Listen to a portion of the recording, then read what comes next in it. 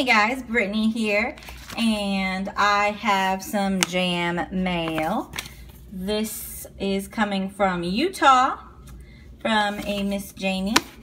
So Jamie, thank you for the trade. This is, um, I just said, a trade. I've been doing Jamberry trades. You've probably seen the videos, and I'm opening this now to see what we've got here. Dun, dun, dun.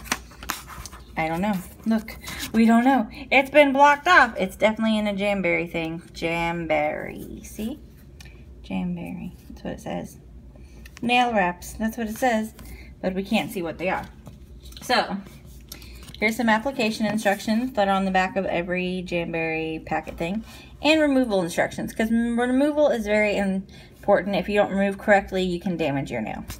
But if you apply and remove correctly, then these nail wraps and lacquers and gels and color cures that Jamberry offers do not cause any harm to your nails. So, in here, we have one of my favorite wraps, Word to the Wise. I had this wrap uh, when I first started playing with Jamberry.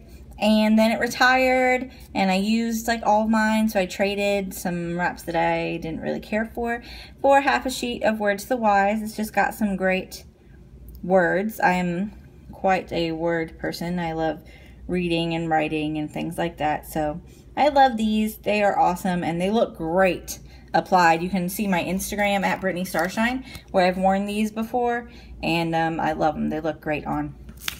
So that is my Jamberry trade for today.